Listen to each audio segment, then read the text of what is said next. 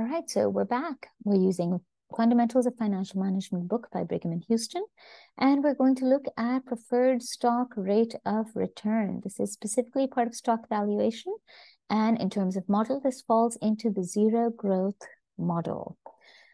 Uh, so the question says, what will be the nominal rate of return on a perpetual preferred stock with a $100 par value and a state dividend of 8% of par and a current market price of $60? Then the price changes at 60, 80, 100, and $140. So real quick, let's put into this our model. The model says P naught equals to D1 divided by R. And remember, because preferred stocks represent zero growth, that is why you don't see any G in this particular formula. So let's use the situation for situation A. And let's use this formula for situation A. Because we want to calculate the rate of return, we're going to solve this equation for R. So let's do that first. Uh, solving this equation for r, we're going to go ahead and shift the p down, p to the other side and the r to the left-hand side. So that means that our equation is going to be r equals to d1 divided by p naught.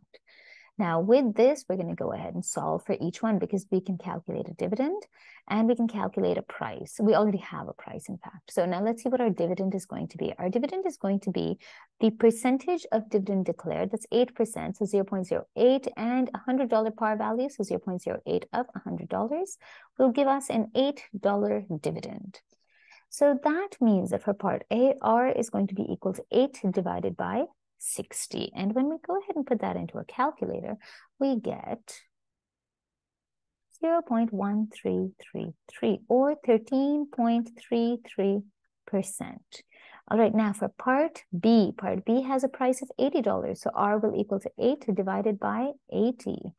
And of course, 8 divided by 80 is simply equal to 10%. So 0 0.10 or 10%.